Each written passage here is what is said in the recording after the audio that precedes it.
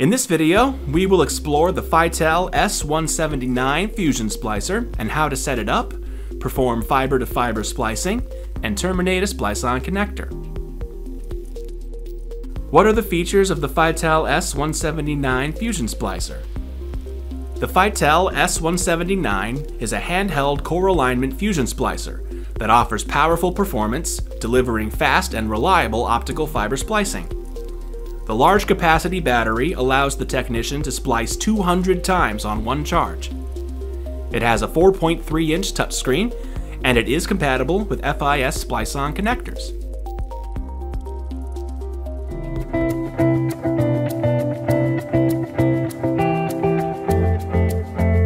The best practice for an arc calibration is always to use single mode fiber, and to do an arc calibration every time before you use it.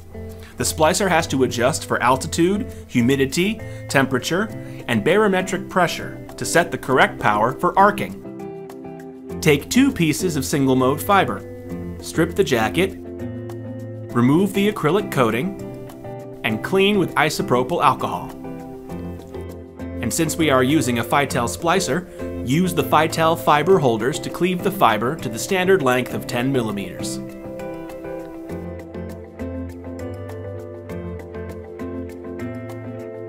Place the fibers on both ends of the splicer and close the lid.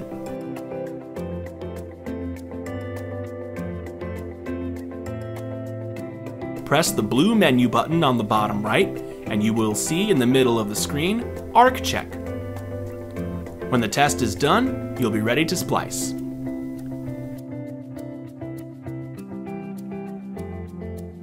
Now you have completed an arc calibration on the Fitel S179 Fusion Splicer.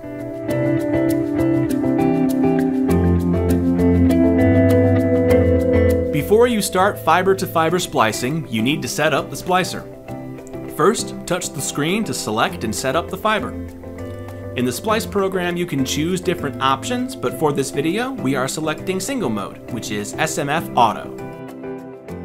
Now the splicer is set up for single mode fiber. Below the fiber type selection is the heat oven setting. We're using a 60 millimeter splice sleeve. Select Power 900 60 millimeter. Now the splicer is set up on single mode fiber with a 60 millimeter splice sleeve. On one of the fibers, put the 60 millimeter splice sleeve on before prepping the fiber and splicing. Take the two pieces of single mode fiber, strip the jacket, remove the acrylic coating, and clean with isopropyl alcohol. And since we are using a Fitel splicer, use the Fitel fiber holders to cleave the fiber to the standard length of 10 millimeters.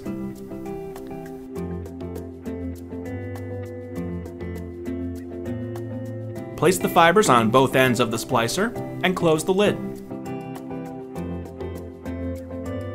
Press the arrow button on the screen.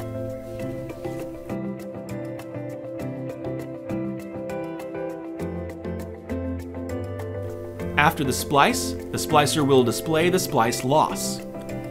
Open the lid and carefully open the fiber clamps and move the splice sleeve to the exposed splice.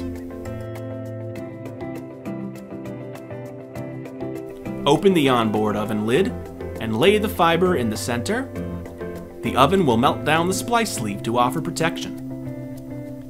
The splice sleeve protects the splice in two different ways. One, the strength member inside is for the rigidity, since the jacket has been stripped, and two, the compound inside to seal the exposed glass from the outside environment. The oven will go through a cooling cycle and an audible beep to let you know when it's done. Now you have completed a fiber-to-fiber -fiber splicing on the Fitel S179 Fusion Splicer.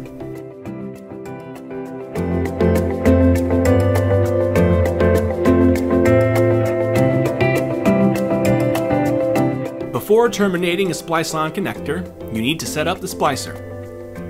Make sure that the fiber type is still on single-mode fiber. Next is the heat oven setting. Select it and choose 40 millimeter. Now the Fitel Fusion Splicer is set up for splice-on connectors. First, remove the right side fiber holder and replace it with the FIS Fitel Splice-On connector holder. For this video, we are using the LC Cheetah 900 micron Splice-On connector. Take the Splice-On connector and place it onto the SOC holder. Take the field fiber, slide the custom 900 micron boot, and the 27mm splice sleeve. After that, strip the jacket and remove the acrylic coating, clean with isopropyl alcohol, and cleave the fiber to the standard length of 10 millimeters. Place the fiber on the left side of the splicer, close the lid, press the arrow button,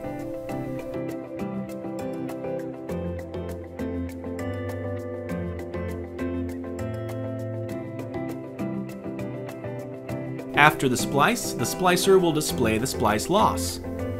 Open the lid, and then the fiber clamp. Next, gently slide down the splice sleeve to the back of the splice-on connector so it grabs both sides of the 900 micron tight buffer. Open the lid of the onboard heat oven and place the splice-on connector in the oven.